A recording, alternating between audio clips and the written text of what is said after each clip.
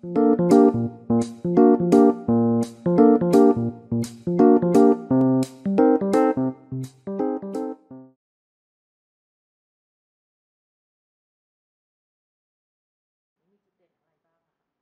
สำหรับหลักสูตรการจัดการอีเวนต์โรงแรมและการท่องเที่ยว หลักสูตรนานาชาติของวิทยาลัยนานาชาตินะครับ หลักสูตรของเรานะครับก็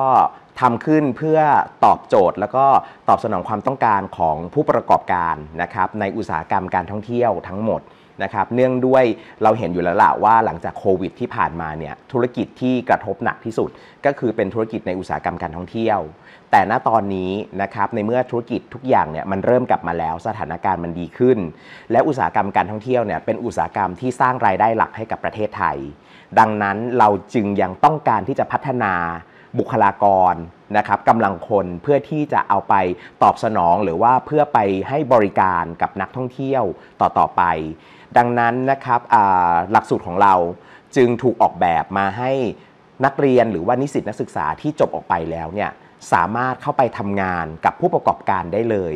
เนื่องจากหลักสูตรของเราเนี่ยเราจะสอดแทรกเรื่องของการจัดการ เรื่องของลักษณะการทำบริหารธุรกิจออกไป ให้เด็กเข้าใจในรูปแบบ เข้าใจในเรื่องของ business model ว่าตอนนี้เนี่ยธุรกิจมันเป็นไปแบบไหนแล้วบ้าง หรือว่าธุรกิจที่มันเกิดการเปลี่ยนแปลงในรูปแบบของ new normal หรือว่า next normal ก็ตามแต่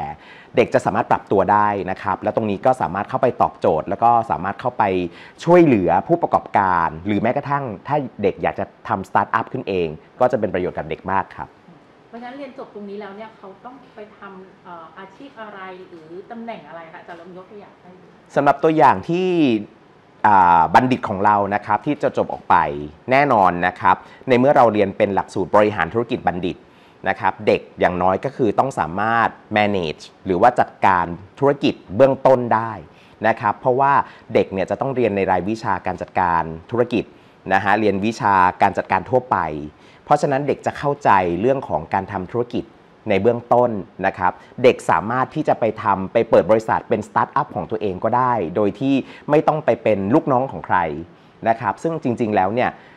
บัณฑิตของเราส่วนใหญ่แล้วเนี่ยเวลาจบออกไปเนี่ยเขาก็จะไปทำธุรกิจของตนเอง ยกตัวอย่างเช่น ถ้าเกิดว่าจบเรียนมาทางด้านเน้นทางด้านการท่องเที่ยว เด็กสามารถไปทำเป็นบริษัททัวร์ของตัวเองได้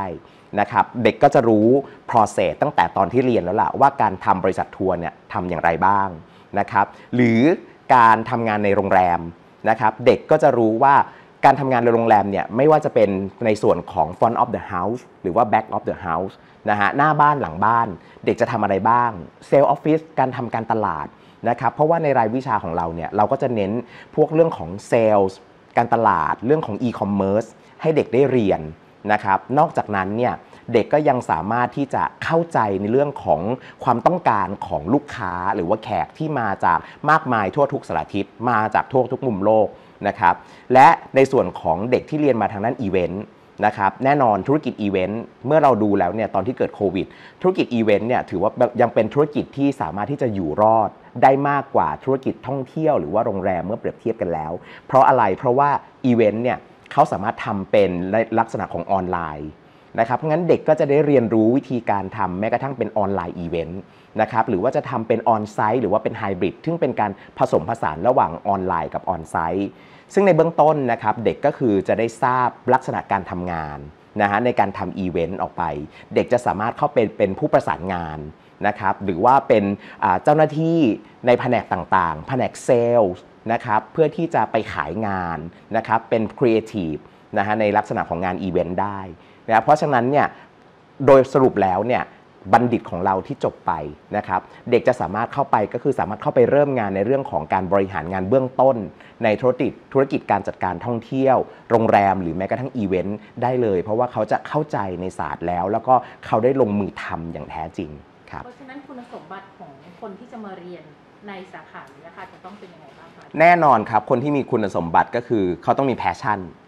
คนที่เรียนทางด้านการท่องเที่ยวโรงแรมหรืออีเวนต์นะครับ คือคุณต้องมี passion ในงาน เพราะงานนี้เป็นงานที่เราต้องทำงานกับคนหมู่มากนะครับ แล้วก็งานนี้ส่วนใหญ่แล้วเนี่ยในงานทางด้านการบริการ เป็นงานที่มีความเขาเรียกว่ามีความกดดัน เพราะฉะนั้นเนี่ยถ้าคุณสามารถทนแรงปะทะแรงกดดันได้นะครับ คุณก็จะสามารถ เรียนแล้วก็ทำงานในศาสตร์นี้ได้ แต่ไม่ต้องห่วงสำหรับน้องๆที่อยากจะมาเรียน ตลอดระยะเวลา 4 ปีที่น้องๆอยู่กับเรา น้องๆจะได้ทำโปรเจกต์มากมายไก่กองเลยกับทางสาขา เรามีโปรเจกต์ทั้งของสาขาเอง ของคณะหรือแม้กระทั่งโปรเจกต์ที่เรามีการร่วมมือทางวิชาการ กับหน่วยงานต่างๆ ภายนอกมหาวิทยาลัย และนอกจากนั้นน้องๆจะได้ออกไปฝึกงานภายนอกครับ ตั้งแต่ในชั้นปีที่ 3 นะครับเพราะว่าในหลักสูตรนี้เนี่ยเราจะสอดแทรกเรื่องของการไปฝึกงาน หรือว่าการเข้าไปแฝงตัวกับสถานประกอบการ เพื่อที่จะให้น้องๆเนี่ยได้เรียนรู้แล้วก็ได้ลองทำว่าสิ่งที่เขาเรียนมาเนี่ยมันใช่ตัวตนของเขาไหม มันเป็นสิ่งที่เขาอยากได้อยากทำจริงหรือเปล่านะครับเพราะฉะนั้นเนี่ยน้องๆที่จะเข้ามาเรียนที่นี่เนี่ยไม่จำเป็นที่จะต้อง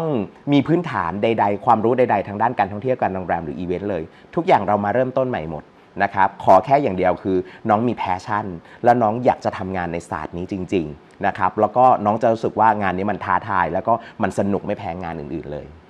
เอ่ออยากให้อาจารย์บอกถึงช่องทางในการสมัคร หรือว่าน้องๆเอ่อเผื่อมีข้อมูลอยากจะสอบถามเพิ่มเติมตรงเนี้ยค่ะอาจารย์มีช่องทางไหนบ้างคะ สำหรับช่องทางในการสมัครนะครับ ถ้าเกิดน้องๆสนใจนะครับ ที่อยากจะสนอยากจะสมัครมาเรียนในสาขาการจัดการอีเวนต์โรงแรมและการท่องเที่ยวนะครับ ของวิทยาลัยนานาชาติ มหาวิทยาลัยนเรศวรนะครับ น้องๆสามารถเข้าไปในเว็บไซต์นะครับ NUIC ได้เลยนะครับ ก็คือเว็บไซต์ของวิทยาลัยนานาชาตินะครับ ซึ่งตรงนั้นเนี่ยเราก็จะมีช่องทางให้กับน้องๆ สามารถที่จะดาวน์โหลดใบสมัคร มาได้เลยนะครับหรือว่า Facebook ของวิทยาลัยนานาชาติเราก็มีเช่นเดียวกันนะครับก็พิมพ์ไปเลยว่า NUIC Official นะครับตรงนี้ก็จะสามารถเข้ามาติดต่อเราจะมีพี่ๆ นะครับที่เป็นแอดมินคอยให้คำปรึกษาหรือว่าให้คำตอบได้นะครับหรือถ้าเกิดว่าน้องๆสนใจนะฮะทางสาขาอีเวนต์โรงแรมและการท่องเที่ยวของเราก็มี Facebook ของเรานะครับก็คือพิมพ์ว่า ทัวร์ NUIC นะครับเราก็จะมี Facebook ของเราเลย ซึ่งน้องๆก็สามารถที่จะเขียนไปสมัครนะครับแล้วก็ยื่นมาได้เลยนะครับเพราะว่า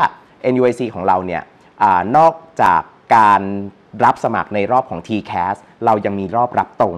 นะครับเพราะฉะนั้นเนี่ยเรารับตรงโดย NUIC ของเรานะครับเพราะฉะนั้นถ้าเกิดน้องๆ ไม่อยากจะเบื่อและเบื่อ TCAS ก็แอดมาหาเรานะครับเพราะฉะนั้นน้องๆ จะได้สามารถสมัครเข้ามาเรียนกับเราได้เลยครับ